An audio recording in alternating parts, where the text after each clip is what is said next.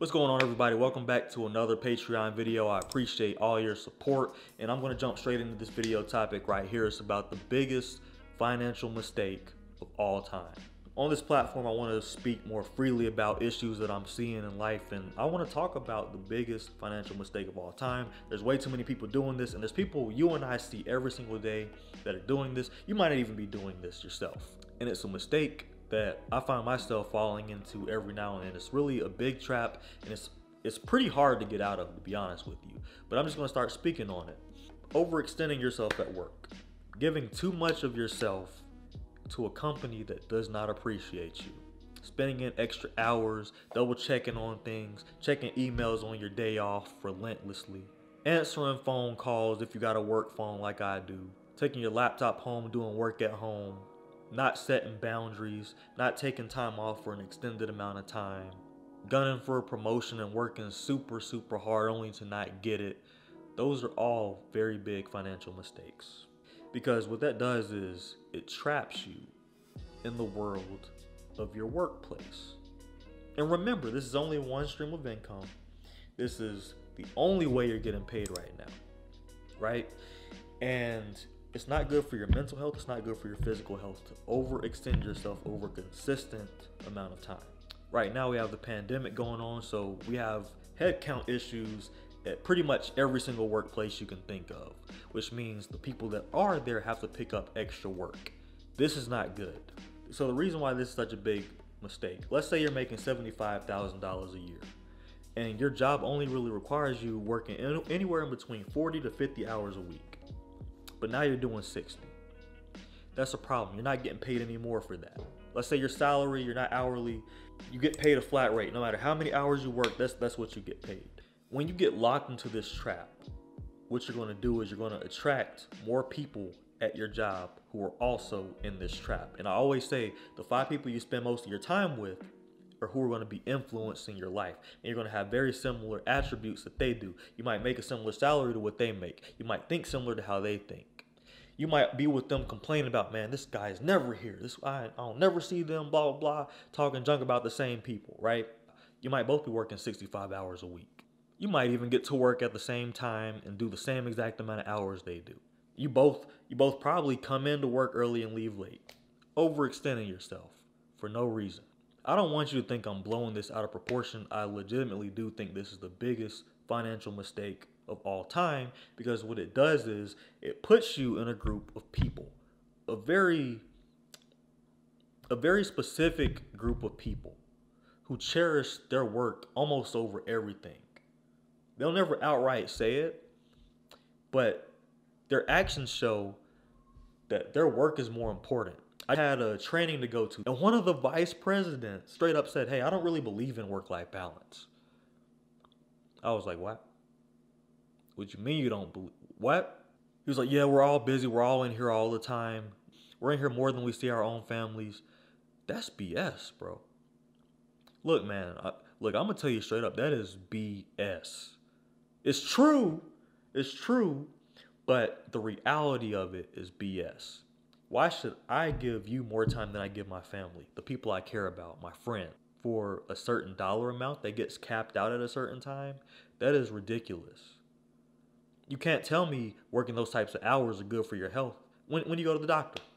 Tell me, when do you go to the doctor? Walking around with stress and you going home thinking about work. You tell me you don't get put at risk for high blood pressure when you do that? All in the name of being successful being called a vice president, being called a manager, being an executive of leadership. This is just an example I'm giving you. It could be anywhere. It could be doctors, nurses. I have nurse friends, I have people in medical school that I know that I'm tight with that tell me about these things. It's ridiculous. The hours are stupid. It, like it really doesn't make sense. And I know I'm getting kind of fired up, but it's true. It's a financial mistake. Sure, you're getting paid, but at what cost? If you're doing if you're if you're doing 80 hours of work on a 40 hour salary, how are you win? You're not winning. You're not seeing your family. It ruins relationships. It caused so many divorces that I've literally seen happen right before my eyes. You're missing your kid's football game or baseball game. You're not spending time with your significant other. I'm busy. I'm working. BS excuses, man. BS excuses. There's never an excuse. There, there's never going to be anything that excuses you from spending time with the people that you love. And if you're living at work, and I've done this before, so I can 100% say it. And once I was living at work, I missed out on spending time with a lot of family members. And let me tell you something some of them passed away. I will never be able to speak to them again. That is a financial mistake.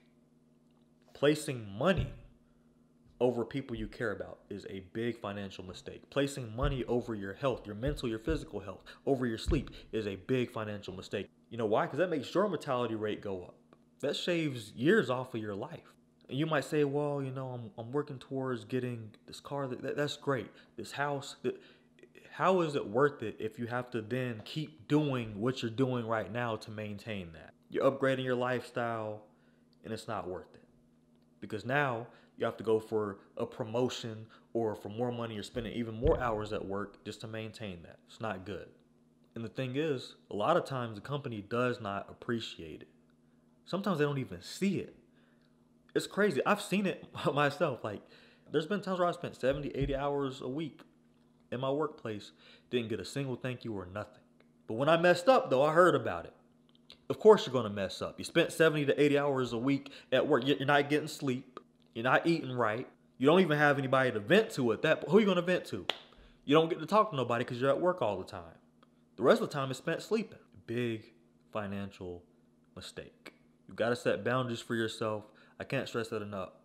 And and that, that's one thing the pandemic taught me and I think everybody else. Time at home is more important. And a lot of these jobs out here you can do from home. You can my job can't be done from home. I can tell you from experience it can't, but a lot of jobs can. A lot of IT jobs, a lot of, you know, office types of jobs can be done from home. My uncle is scheduled to be working from home for the next 3 years. He's got promoted twice during this whole pandemic that is a blessing. He gets to spend more time with his wife and with the whole family. He's not bound by his job. He, he does his hours and then he then he's done for the whole week. He has a work-life balance. These things are important. He gets to prioritize his health. He gets to work out. He gets to go to lunch with his wife. That is a massive advantage that he has. And with that when I went back home that put that into perspective because what I did was last year towards the end of the year, I took a month long vacation. I saved up my PTO for the whole year, never doing that again because it was long overdue. But what I'm saying is, during my vacation, I put massive boundaries on myself. I said, look, don't call me, don't text me, don't email me.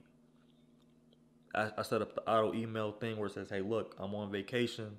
You know, it said it in a more professional way, but it said, hey, I'm on vacation. Uh, please reach out to my peers if you need it, XYZ.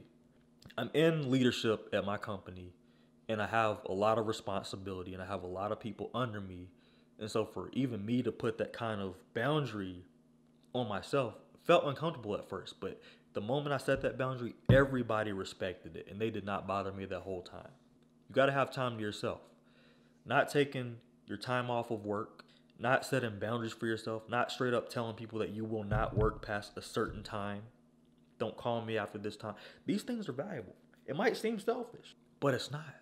Your job is but a speck on this earth that we live in. If you're living at work, how are you going to ever travel? How are you ever going to experience life? How are you ever going to spend that time with your family, your friends, your significant other, your dog, your cat? It doesn't matter. Like you gotta have, you gotta be able to spend time with people you care about. I don't care if you're at home in your underwear playing video games all day. That time is mentally valuable to spend. Being career minded is a good thing. Overextending yourself is a horrible thing. It leads to resentment. It leads to walking away from your job too quickly. It leads to just catastrophe across the board. It leads to health problems. It's the greatest financial mistake of all time. You know how many people die in their workplace? I've been working in the corporate world for about five years now, and I've already came across over half a dozen people who have had literal mortalities in the workplace that I've worked hand in hand with. This is not a game. All for money that gets capped? That's ridiculous. I've known people who are salary and hourly who've done this. The hourly people would, you know, overextend themselves by working a stupid amount of overtime so they can say they made six figures. They made more than their boss made, but at what cost? If your boss works half the hours you work making the same amount of money, who's really winning? Not you. Money is not everything. We don't need to chase it. Money is very important, but I'm just saying, if you prioritize your work life balance, you could then create opportunities for yourself to then make even more money than you're making at work. That's all I'm saying. It's not going to happen overnight, but it's better than making the biggest financial mistake of all time. Limiting your opportunities to be out there and live. The whole purpose working, by the way, is so you can live, not the other way around. I say that because I'm a repeat offender of overextending myself, but it's I have a ridiculous work ethic. And I can I can honestly see that within myself. And I, I can only think if I were to put this amount of effort towards my own goals that I have for myself, oh my God, I'd be on top of the world. If I, if I were able to put that energy into myself consistently over the course of years, I'd be making millions of dollars a year. No lie. See, the reason I thought of this topic is because I know so many people, they come home from work so exhausted. I have friends who moved across the country multiple times over just for the sake of having a good job that actually gave them work life balance. I moved across the country so I could have work life balance. And I'm finally getting it. I see my family more often now than I did when I lived an hour away from them. Now I live 36 hours away from them. Isn't that crazy? Anyways, the whole point of this is don't become a slave to money or your workplace or anything like that. Set boundaries for yourself. Understand and know what your rights are as an employee. And always put your best foot forward. Do your best work. Put your energy in there when you're there. But you don't need to commit to working extra hours. And, and this is for, for my younger folks who might be watching this. I remember when I first took on one of my jobs, right? And one of the senior HR guys was, uh, there was this girl who was new to HR. She was fairly young. She was probably like in her late 20s. He's like obviously in his 40s, 50s. I don't know. I'm hard. It's hard for me to tell people's ages. But anyways, he was like, "Hey, you mind?" He was he jokingly said, "Hey, you mind taking my hours for me at the end of the day?" They both salary. She was like, "Oh yeah, I don't mind," because she's grateful for the opportunity. But that's taking advantage. He's taking advantage of her time. She had kids, you know. Well, she has kids. You know what I'm saying? That time could be better spent with her kids. There's been times where I've taken big amounts of PTO, like I just. There's been times where I've taken big vacations, like I just did a few months ago, and then my boss is like, "Hey, um, I still don't want you to go. It, it's still not too late. You can you can still hey you, you can work tomorrow and in the next few nights and then to, nah. Bump that, and you got to be dead serious. They're joking and laughing. Have a straight face. They got to understand that you're not playing around. I, I don't even joke like that. I don't joke about my time because my time is serious. My time is important. Make sure you get a return on your investment when it comes to the actual time that you put into your job. Understand what the job is for.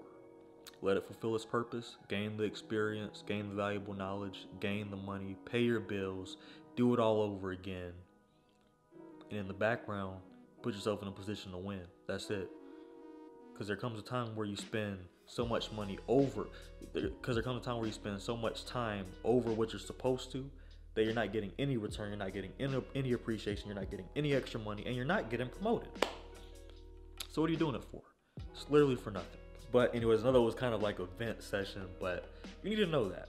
You need to know that, and I haven't outwardly addressed that situation enough on YouTube. And here it is right here, right now. So I wanted you to hear it from me. This is extremely valuable advice. Please don't let this go over your head. But yes, anyways, that is the video topic for today. I appreciate your support and watching this video. I will see you in the next one. Stay cold.